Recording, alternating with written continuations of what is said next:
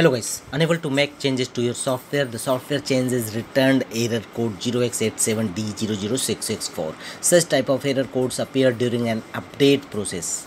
It indicates the system can't get software updates on content locations presently. And to fix this issue the first workaround is go to run command windows launch run command box in windows 11 and windows 10 right click on start button and choose run command here execute the uh, type the command ms configuration. It will open system configuration windows. Here from the top menu bar choose the option boot and open your system in safe mode.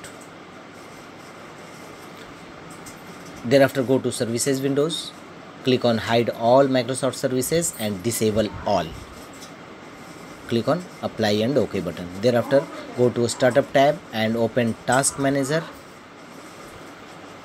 And here look for all the enabled startup apps and right click on it and choose disable.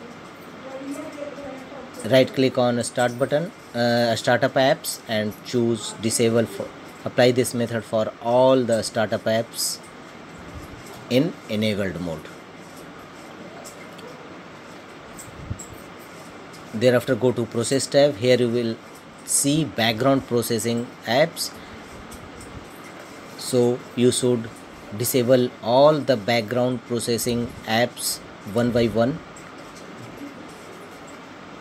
Background running apps. Select it and choose end task